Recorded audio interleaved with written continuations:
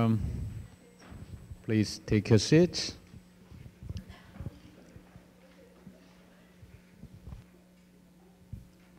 Um,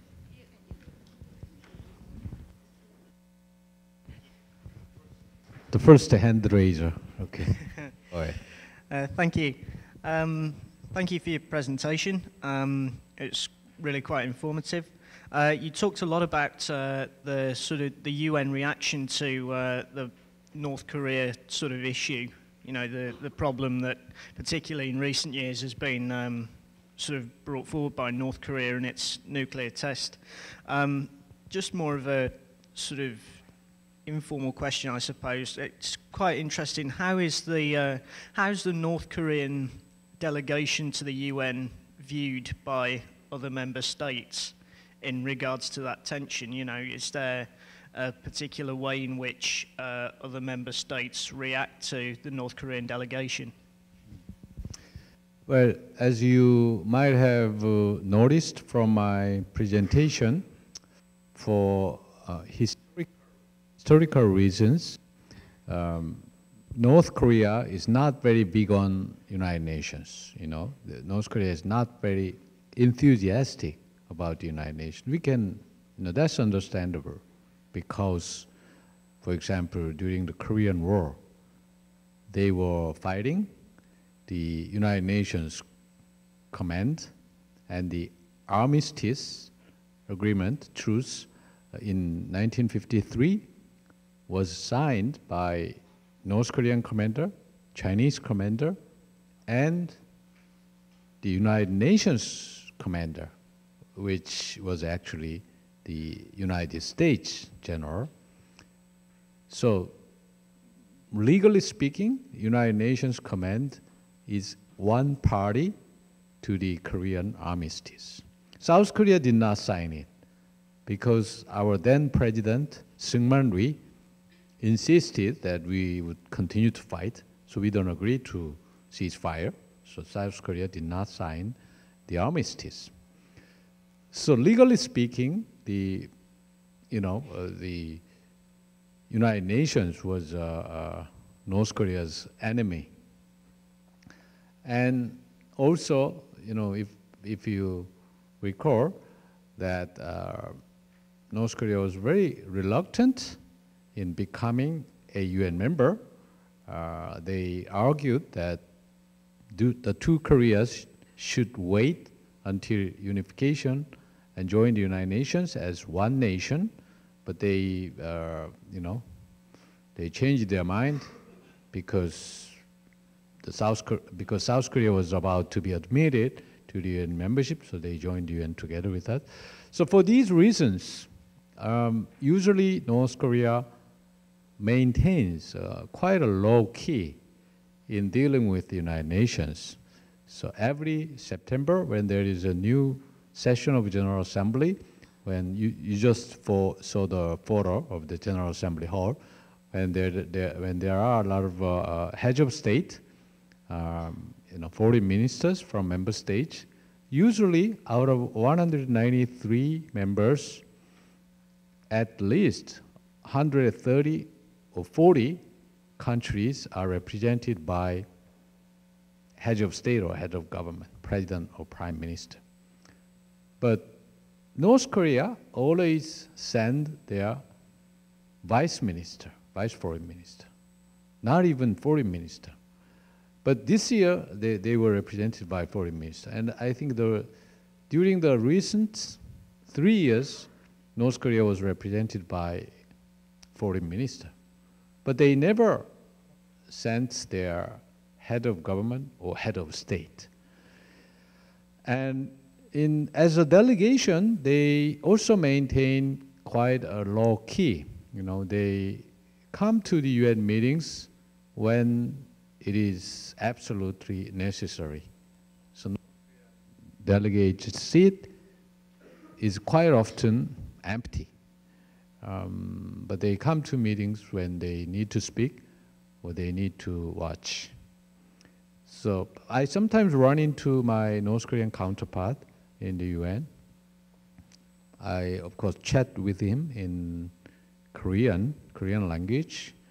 Uh, but we don't go very substantive, you know, we just exchange greetings, uh, you know, small talks. That's about it. Um, thank you for your presentation. I noticed this might be a, kind of a controversial topic, but do you think that lifting the sanctions on North Korea would somehow change the overall situation and their relationship with the UN or other countries in general? Well, the sanctions, sanctions, all the sanctions imposed by United Nations have their purposes. The, the UN um, does not impose sanctions as a punishment punishment meaning in, in the domestic context, in domestic, uh, you know, legal judiciary uh, context. If someone committed crimes, he or she, if he or she is sentenced guilty, then he or she serves time in prison, which is punishment. So once you are done with uh, serving in prison, spending time in prison, then your punishment is over, right? So you go back to society. But UN sanctions don't work like that. You know, it's not punishment. It's just means of achieving certain purpose. Every sanction, you have a purpose to impose it when you adopt resolution, you make clear about why you are imposing these sanctions on a certain country. So in the case of North Korea, they made clear that they are imposing these sanctions so that DPRK, North Korea, would abandon, give up its nuclear and missile programs because having them for North Korea is illegal. So that means you cannot lift sanctions unless the purpose is achieved. If it is a punishment, if you serve a certain time, then you are relieved, right? But this is not punishment. This is just means of achieving a certain purpose.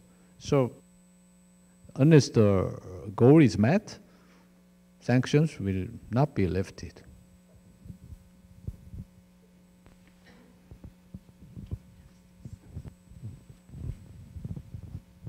안녕하세요. Uh, thank you for your presentation. Um, my question is, um, as you know, uh, after Korean War, the Korea separated into two countries, uh, and many Koreans escaped from the conflict overseas to China, Eurasia, and America. And my family is also part of these families. Um, although overseas Koreans participate in many different cultures, uh, some people lost pieces of their Korean heritage. And because of this, the younger generation overseas Korean have lost connection to the Korean issues, um, such as the split of the Koreas.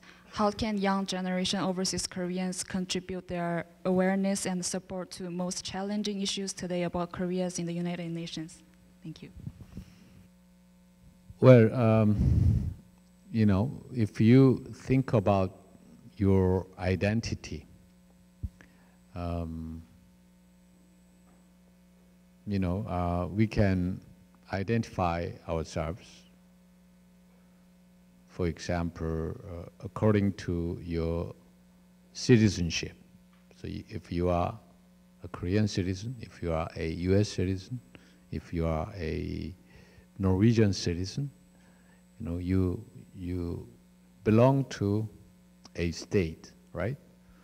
But we also have different levels of identity.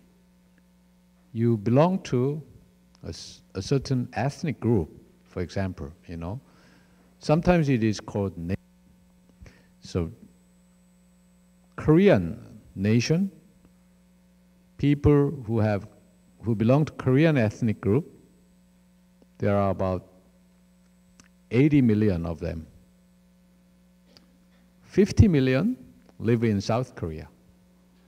25 million live in North Korea, and about 7 million live all over the world as diaspora. I don't know if it is desirable to encourage them to think of themselves as ethnic Korean. But whether it's desirable or not, they are ethnic Koreans, you know. They share the same culture, same history, uh, sometimes same language. You know, so some of them might not be able to speak Korean, but most of them speak Korean. So, whether you like it or not, you belong to this ethnic group, Koreans. And my suggestion is that to take it as it is. You know, if you are a Canadian citizen, Canada is your country. You know, you, you, you, I would encourage you to become a faithful Canadian. But it doesn't have to be in conflict with the fact that you belong to the Korean ethnic group, in my opinion. Especially in this globalized world, I think I encourage all of you to have an identity as a global citizen. You know, we all belong to humanity. And thanks to globalization, a lot of issues we are dealing with have to do with the earth, the world, the international community, rather than a certain ethnic group, rather than a certain state, rather than a, a certain group of states. And because culture evolves, you know, our identity expand naturally. When I started out as a diplomat in 1985 in New York City, if you ask some Americans if they eat sashimi, I heard someone re responding to me that, you know, proudly responding to me that I don't eat raw fish. If you do that today in America, if you say, I don't eat raw fish, you are probably from Texas. Well, I have nothing against Texas, but um, eating sashimi is no longer something, you know, uh, some decent person don't, doesn't do. Same for kimchi. You know, when I started out, not too many Westerners or Americans ate kimchi. When I was ambassador during the last uh, three and a half years, when I uh, entertained my guests from all over the world, the favorite food item was kimchi. My uh, chef always had to refill their kimchi. Actually, I don't eat much of kimchi myself, but they have to refill kimchi for all the guests, especially from, you know, uh, Western countries, not only Asian. Yeah. Same for karaoke. You know, karaoke is a Japanese invention, was improved by Koreans using IT technology. But karaoke is all over the world. Actually, my the farewell party, my U.S. colleague Samantha Power gave me uh, on the next day after the election, actually. So they were not in good mood. But anyway, uh, they gave me farewell party at a karaoke bar near uh, the city city. You know, I never been to that karaoke bar, but obviously Samantha must like that place. So what all of these mean? You know, we are living in a globalized world. Our cultures evolves, converge with each other. Some people say K-pop music is a kind of a recycle of American pop culture. Maybe true, but, but there is nothing wrong about recycling others' culture. You know, we we, it is actually desirable that if you recycle others' culture and develop it into something new, improve it. So they recycled very nicely. That's why K-pop is so popular all over Asia. So my suggestion is that you respect all of your identities. If you are Canadian citizen, if you are ethnic Korean, all of them are important for you. And don't lose track of uh, what is happening, you know, in your own country or in your original country. But at the same time, you are a global citizen. So it actually doesn't matter whether you are Canadian, Korean, Japanese, American. We are all global citizens.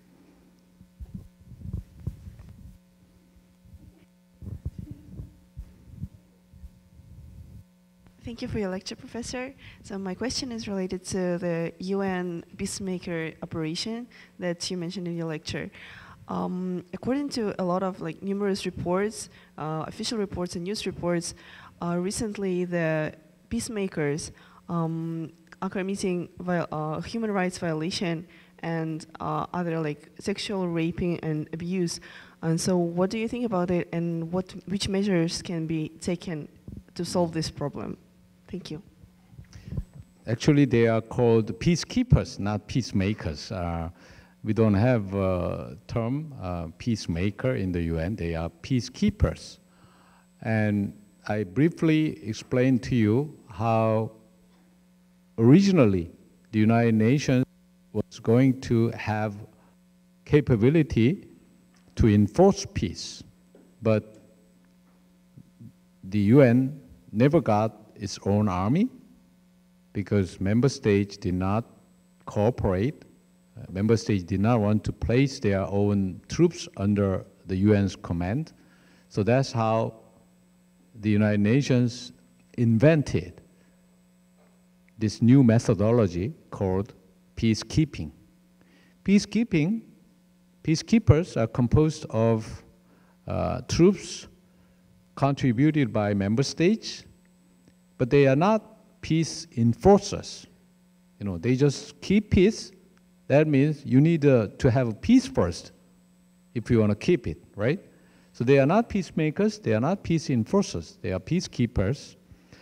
But as you said, uh, recently uh, there have been these uh, issues about, you know, sexual exploitation and sexual abuse by peacekeepers.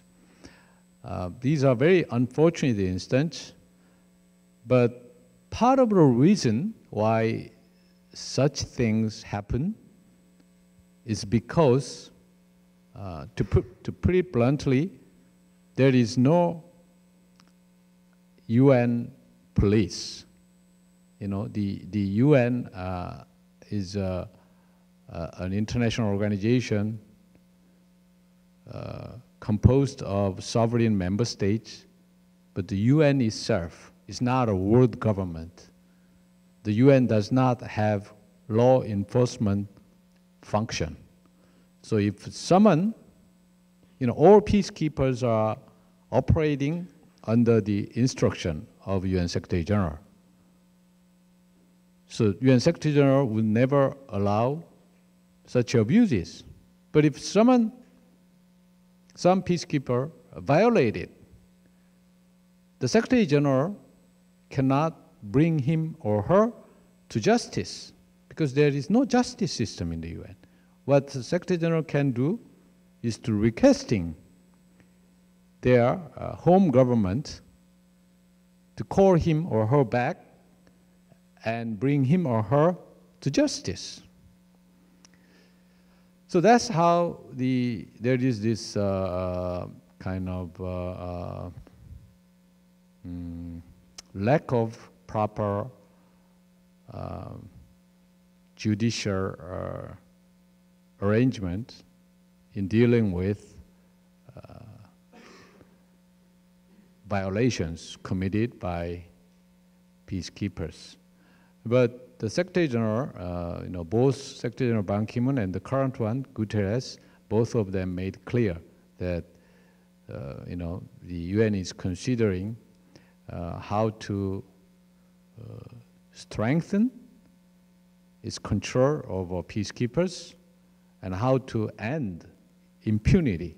You know, this is a lot to do with impunity. There should be accountability and we should end impunity.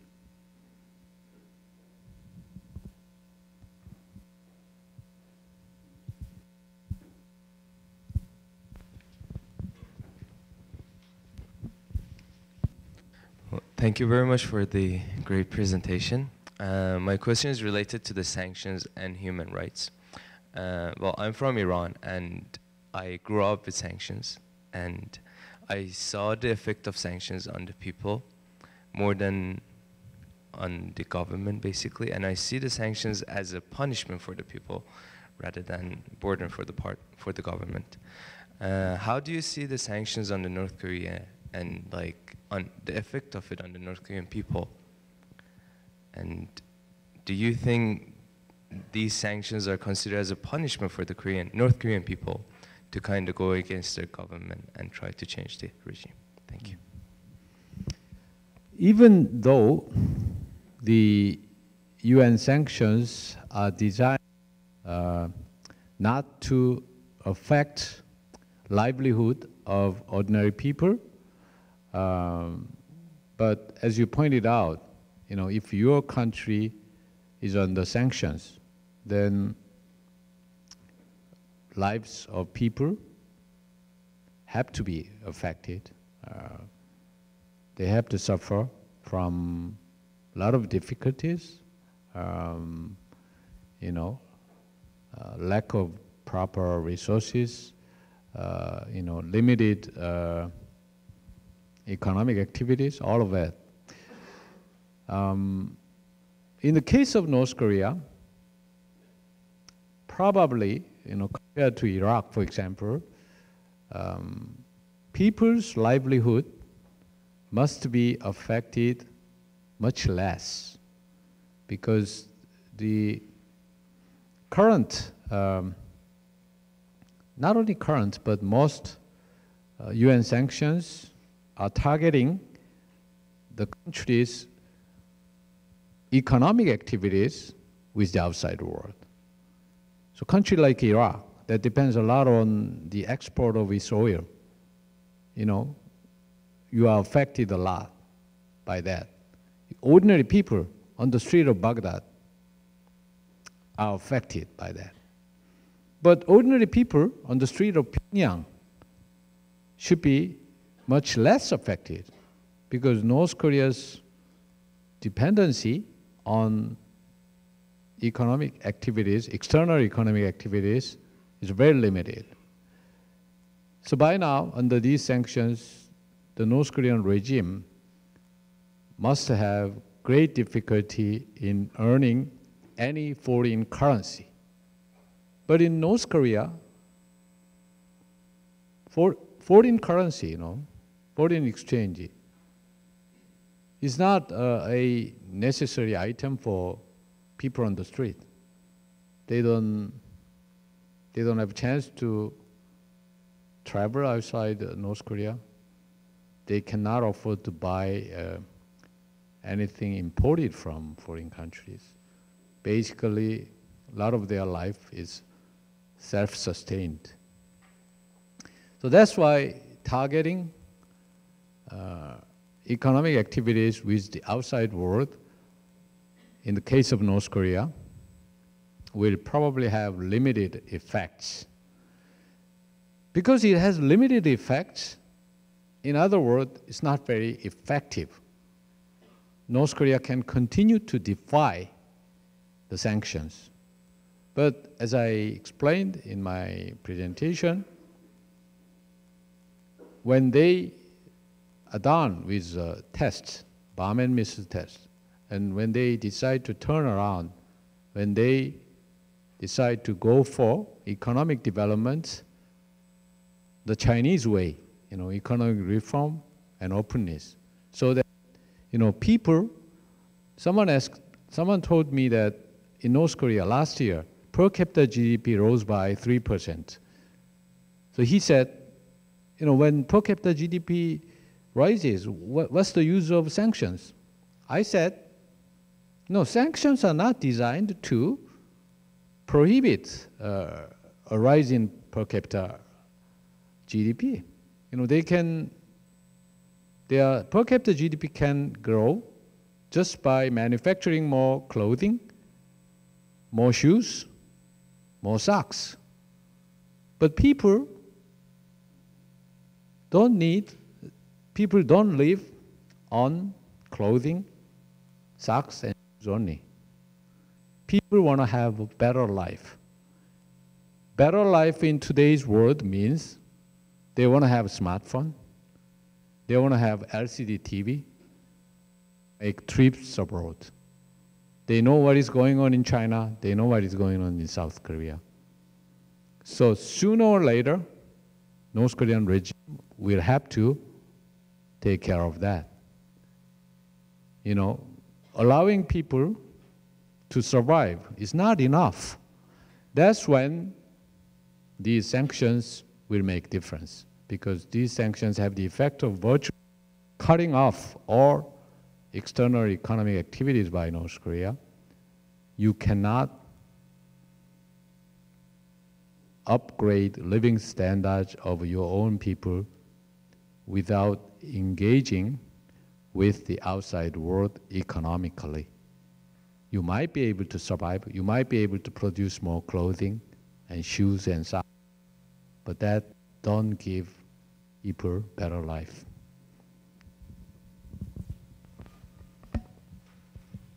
Um, here at the back. Um, uh, well, it was it was very nice the presentation and Where are you? here at the back. Oh, okay. Um, I don't ask this question often, but I could feel kind of your honest efforts to kind of improve things. And I just wanted to, well, two questions. My first question is, what was your mindset when you started this, you know, this road of diplomacy? What drove you to become a diplomat? And um, my second question is, um, well, having said that, I just wanted to ask you a personal question on how has the Korean issue affected you personally? Because, well, you're Korean, and um, I was watching a lot of, not a lot, but uh, some YouTube videos on how um, Korean families, Korean relatives have um, been, well, were reunited after, I, I don't know, 70, 60 years for a couple of hours in some meetings in uh, the DMZ, right?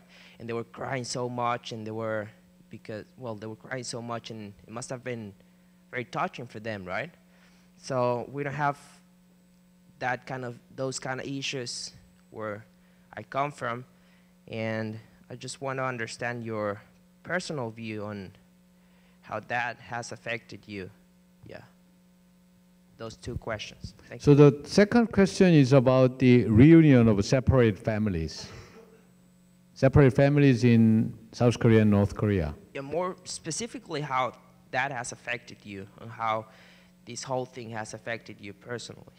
Oh, how this whole thing affected me personally.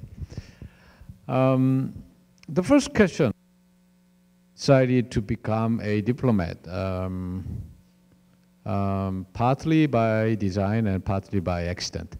Um, my late father was also a diplomat during his uh, uh, early years. He was Korean consul in Los Angeles during the Korean War. I was not yet. I was born after the war. Uh, my father met my mother there. My mother was studying at uh, USC, University of Southern California. So they married there and came back to Korea, and then I was born. Um, but I wanted to be a journalist until uh, my junior year. But somehow, some friends of mine encouraged me to take uh, diplomatic exam because even if you don't pass it, you you must study hard and you will easily uh, become a journalist even if you don't pass diplomatic exam. But I passed it, so I I became a diplomat, and um, my mother was very happy about it because my father never made an ambassador. My father was only a consul, and then he retired early. So my mother was very happy about it. But even though she never saw me become an ambassador, she passed away before I made it. But she knew that I was on the right way. Anyway, that's how I, how I became a diplomat a long time ago. And your, your second question, you know, separate people in South Korea and North Korea. Actually, my late mother was born in North Korea. So, so was my, uh, so were my grandparents uh, on mother's side. And because my mother, after coming back from LA, she started to teach at university. So I was uh, taken care of by my grandmother, who was from Hamgyongdo pro province in North Korea. She spoke with very heavy North Korean accent. Um, but, I, but somehow I learned the standard Korean. Anyway, um, so my generation, my generation, we know and feel that South Koreans and North Koreans are the same people. There's no differ difference. North Koreans are just like my mother or my grandmother. So we know from our own experience, we know from our own blood. But younger generation these days, their parents were born after the Korean War, like myself.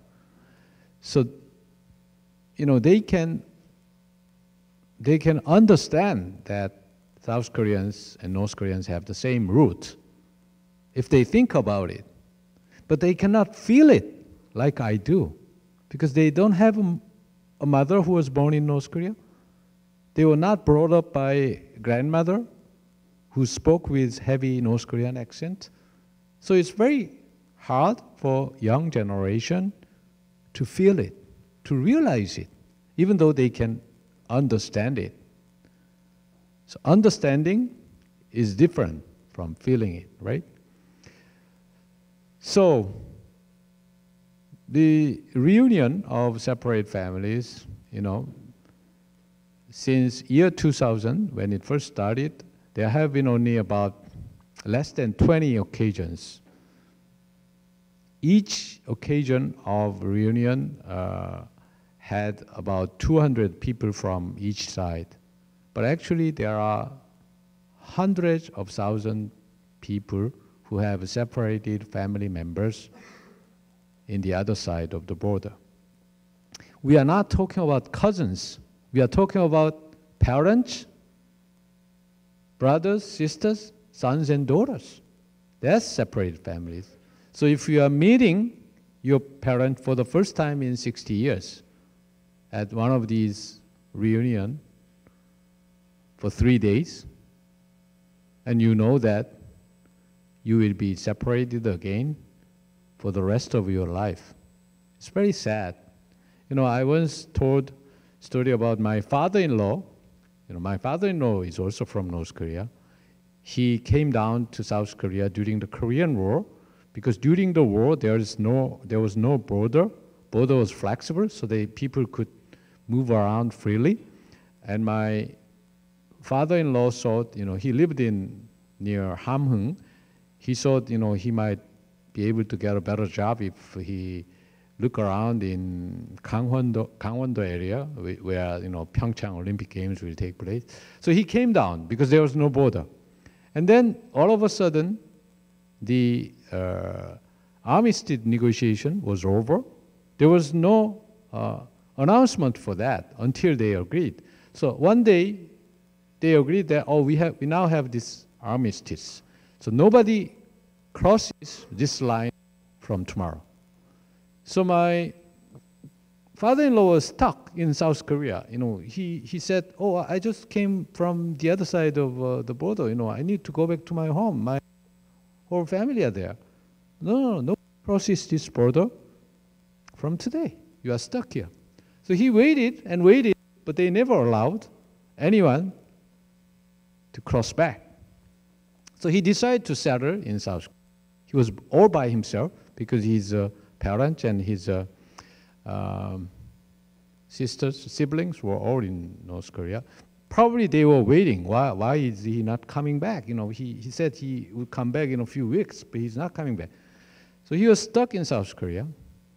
He married my mother-in-law, and that's how my wife was born. Otherwise, I would not have uh, had a wife. But anyway, so my father-in-law, when they started reunion of separate families in year 2000, he applied, of course, you know, he applied for reunion. Yeah, my family members back in North Korea, you know, I give you give their names, so please look for them. You know, I want to have a reunion. But because there were so many people waiting list was so long. You know, they had computer lottery. My father-in-law was never selected in computer lottery. So he asked, I was a director general in Korean Foreign Ministry. He asked me if I knew anyone in the Ministry of Unification, because Ministry of Unification was doing the lottery. So I went to see a director in the Ministry of Unification. You know, I told him about the case of my father-in-law, uh, you know, which was a very, uh, you know, um, unique case. But he said, I understand fully your father-in-law's situation. But Mr. O, there are hundreds of thousand people waiting in the roster. What can I do about it? We run it through computer. So I came back to my father-in-law. I told him that, you know, I talked to this guy, but he says, you know, he cannot do much about it. So my father-in-law was very disappointed. Uh, so we decided to drink some soju. And then Two years later, he passed away without ever getting selected for family reunion. I told this story to my former colleague, friend Samantha Power, the US ambassador, over our lunch. And she started to cry after hearing this. And I said, no, no, take it easy, Samantha. I don't know if uh, I don't know if it is good for him or bad for him that he was never selected. Because if he had been selected, he might have been able to meet his parents and siblings for three days, but he should be separated again for the rest of his life. I don't know which is better. No, you just assume that they are okay rather than actually meeting them and realizing that they are not okay, you know. It's a sad story, but it's a common story for many Koreans. Um, more? Yeah. Okay, thank you for your presentation. I'm here. Yeah. yeah. so my question, I have two questions. One is about uh, this UN Security Council. So as you said, there are six members and most of them are the countries that have been involved in war in World War One and World War Two. So the mission of the UN Security Council is, I believe, that it should eliminate the war. But when we see the background of those countries, the history of those countries, they have been involved in, in so many wars. So how those countries which has been involved in so many wars, how they are going to eliminate war. And even recently, in, in today's world, that there are so many wars, they are like indirectly involved. I mean, there are so many proxy wars going on uh, in the in the world uh, because of those countries. So, what's your view on this? Yep. Uh, that's that's one question. You said you have two questions. So my, my, second my, my second question is the UN as a whole how effective it was to eliminate the three pillars of the UN, human rights, development, and also peacekeeping or creating peace. Uh, I believe some countries, they are accusing each other and using like human rights and accusing each other. For example, the US is like accusing North Korea to, of like abusing human rights or either Russia or even Japan. It's uh, so just because of their their interest in the region and some like rivalry which is going on among them. So how about this? Hmm. First, on the Security Council, I would like to suggest that you remember that the United Nations came into being uh, as kind of as a compromise between ideas and realities. Um, the, the forerunner of the United Nations, which was called uh, League of Nations, failed because they were standing on ideas only. You know, in the League of Nations, all member states have the equal right, equal voting right, and decisions were made by consensus. So if you don't reach consensus, no decision. So the, so the League of Nations was not able to prevent a war. That had the Second World War. So the United Nations is based on the lessons learned from the failure of League of Nations. So they tried to make it more realistic so that great powers have greater privileges in decision making. Otherwise, these countries would not come to the UN if they have the same right as any other country, a small country. So from the beginning, they had this permanent five in the Security Council. You know, as I said, Security Council is the most powerful organ in the UN. And inside the Security Council, they made sure that five countries all of them victors of the Second World War, five countries have privileges in decision making. They can veto any decision by the Security Council. But depending on what you think, you know, whether that was a good arrangement, whether the Security Council has been able to prevent another war. There was no third world war so far. So if you think, well, the Security Council has prevented a third world war, then it was successful.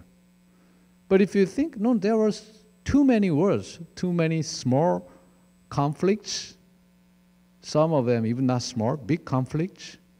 So the Security Council was not able to stop them. So it's not a success story. Well, so so be it. It's your, your car. Um, but still, you know, you have this lingering question whether it was the right way of reflecting reality in the Security Council. I mean, designating five countries, having their names in the UN Charter, so that these countries will have privileges forever as long as the United Nations exists. Is that a good idea? Because, you know, times change and power changes. Even if a certain country was uh, one of the most powerful five countries in the world as of 1945, are you sure that country is still among top five as of 2017? You are not sure. But whether you're sure or not, you cannot change it. You cannot do much about it. So they are talking a lot of, lot about reform of the Security Council, reform of the United Nations, but it's not an easy uh, issue. And as you said, some of P5 sometimes are engaged in conflicts. Sometimes they are even responsible for some conflict. So even so, you cannot do much about it. That's reality. And so it has been a compromise between reality and ideas. I think it's going to be uh, evolving process, you know. The, after all, the UN is uh, what we, uh, uh you know, UN is just like uh, we, uh, we want it to be. So if all of us want to change the United Nations, it will have to change. But it's very hard to get consensus in the UN, especially if you need to uh, be based on both reality and ideals. And your second question, you know, other pillars like human rights, um, in the UN, the, the only binding decisions are made on issues of peace and security or other issues, economic issues. You know, I was uh, president of uh, Economic and Social Council. So economic issues, social, social issues, human rights issues, all these issues, the United Nations come up with a lot of resolutions and decisions, but they are not binding. Uh, basically, recommendations. Only Security Council can make binding decisions. So when it comes to human rights, the approach taken by the United Nations is often called naming and shaming. So you name them and discuss them, and you shame them with an expectation that they would change because they don't want to be shamed. But what if, if they don't mind being shamed? Then it's not effective, you know? So, for example, North Korea just shrugged it off when the Human Rights Council or General Assembly adopted the annual resolutions on its human rights situation. But North Korea got sensitive after the report of uh, Michael Kirby, COI, Commission of Inquiry. Why? Because that report suggested that the North Korean case should be brought to International Criminal Court. International Criminal Court is actually very interesting innovation that came about about 15 years ago because International Criminal Court can indict persons, even heads of state, if they commit crimes under their jurisdiction and send them to jail. There are former heads of state who are in jail in The Hague. North Korea knows that, so when this issue came to a new dimension, thanks to this uh, COI report, North Korea got very sensitive and they tried to defend themselves that there is no human rights violation in North Korea. That's what we want from the countries. Naming and shaming. By discussing it, we want to see sensitive response from these countries. Because on human rights issues, there is no binding decision by the UN. The best we can do is naming and shaming. They should be shamed. If they are not shamed, if they just shrug it off, we are in trouble. Okay, thank you very much.